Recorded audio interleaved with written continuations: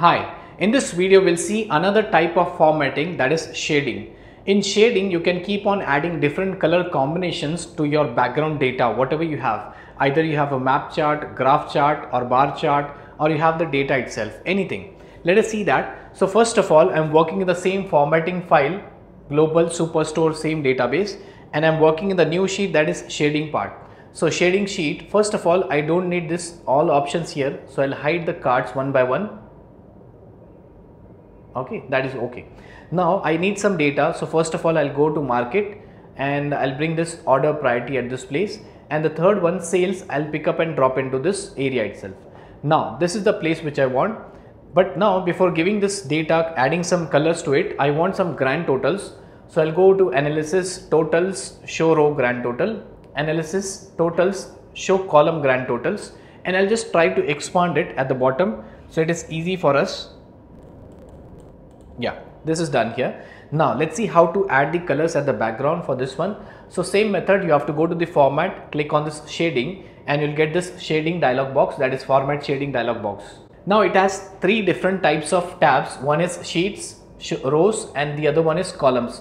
So one is the sheet. So whatever you apply to the sheet by default it will be applied to your rows and columns. Suppose if you want to change the columns or rows anything specific you can still change it. For example Right now if you see I'm in the sheets, it says worksheet, what color do you want for the worksheet? So for the entire worksheet, I'll select this red color. So if you see for the entire worksheet, the red color is applied. There are two rows which are given as white color. Those are nothing known as banded rows. So we'll keep it as it is. When we to this row banding, okay, there is some color which is applied at this place. So I'll just click it outside.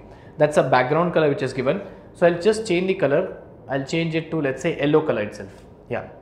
Now after giving this yellow color, if I want to change the color of this pane, what is pane? Wherever the numbers are given, the figures, that is nothing but a pane. So I'll click on this drop down and I'll select this green color. Yeah, I'll just select this green color at this place. So the numbers wherever it are written, these are nothing but the pane which are given. Why not remove this uh, alternate banding row which is given? So I'll just select this option from here and I'll select as none from this place. So now the row banding which was given that has been removed. So this is the pane color which is given. I want to give some heading color itself. These are the headers, these are the row headers, these are the column headers. So I'll just click on this drop down and I'll give some color. Let's say I'll give the pink color. I'll click on this place. So the row headers and the column headers are given the pink color. Now I have selected from the sheets. If I want to modify in the rows, I'll go to this rows and I want to say for rows I don't want the pink color I want some other color. So if you see in the rows I have these headers as pink color. I'll click on this drop down. I can change I can customize in this place. I'll select this as I'll select this brown color itself. So if you see the row headings are given the brown color itself.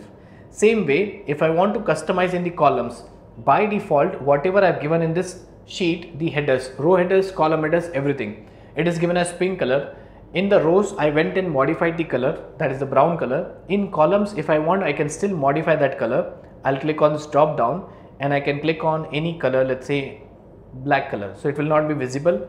Some light color I've given it, right? So that is how you can keep on changing. So the only difference is this is general for everything. This is specific to rows. This is specific to the columns part. At any point of time, if you think these are the applied one, these are the bolts which are applied, if you want to remove everything, you can simply click on this clear button and the formatting will go away. This is one method. The second method is you can click on this drop down, this place and there's option given as clear worksheet formatting. So you can just clear the worksheet formatting entirely, right? That is one part itself. Now let's see the next one. If I have to go to the sheet and if I want to do some coloring part to my total, I can select this total, click on this drop down and I can select this as brown color itself. So you see the grand totals for both are given. Now again if you are specific that for row grand total for this rows grand totals should be of some other color let's say yellow color you can select this one. Same for the columns you can do the same thing. For columns the total should be of let's say green color and the columns total is nothing but a green color. So every place you can keep on customizing it. Again I'll go to the sheets part same for the grand total, total and the row banding. Row banding says alternate rows should be colored. So if I click on this drop down, drop down, if I click on this place and if I select as pink color, so every alternate rows are given as pink color, red color, yellow color and so on.